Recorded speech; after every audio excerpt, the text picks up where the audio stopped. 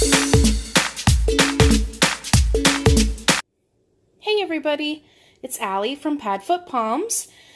So um, I see it posted all the time. People are concerned because their puppies are holding on to their puppy teeth and they would like to know some kind of tips or tricks to get those puppy teeth loose and get them out. So I wanted to make a quick video since I'm here prepping for my dogs currently just to give you guys some ideas on some natural options that you can do um, to loosen up those puppy teeth.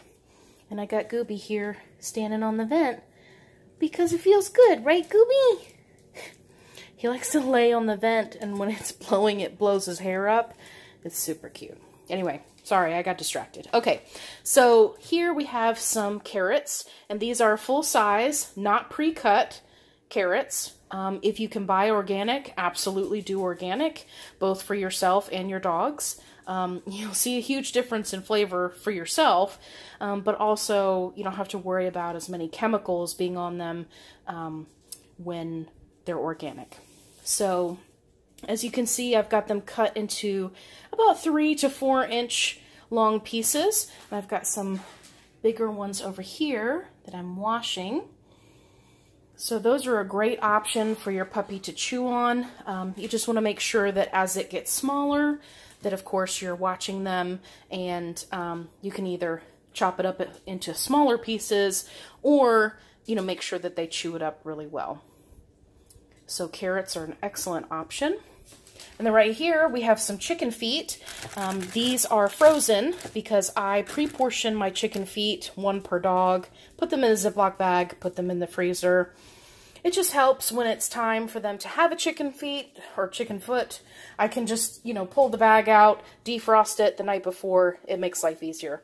Um, when you're looking at chicken feet, you want to make sure that the pad of the foot, right, this part on the bottom, between the toes.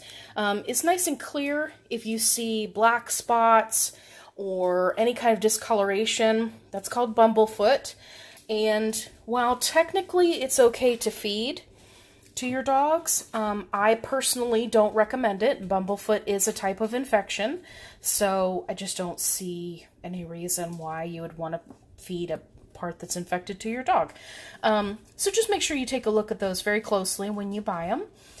At Walmart, they call them chicken paws. You'll see them um, in the chicken meat section. Another great option are small goat horns. Um, these were purchased from TJ Maxx, as you can see here. And these are a great option because unlike antlers, these are not nearly as hard. So they have more give to them, and I find that puppies chew them longer because they have a little more give. Um, so that's another great option. Of course, you guys know, if you've been watching me at all, I am a huge fan of the trachea chews. This is the six inch variety, which I cut down into three to four inch pieces. Um, so these are also another great option. Excellent soy source of glucosamine and chondroitin. So these are really great for puppies that are teething. And then also, you don't want to rule out um, frozen vegetables. These are the fine green beans, but you could get um, any green beans or pole beans. They're nice and long, and when they're frozen, it feels good. You know, on the puppy gums, you know, their teeth are coming through, and it's really hurting them.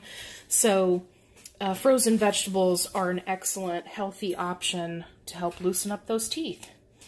Um, also, something that I don't have pictured here would be a raw chicken neck. That's a great option if you have a larger breed puppy. Um, turkey necks, uh, raw turkey necks are also a great option. So there's some things that you can keep in mind. And Gooby is trying to get into the potatoes. Gooby, what are you doing? Those are not for you. Okay, hope you guys have a great night.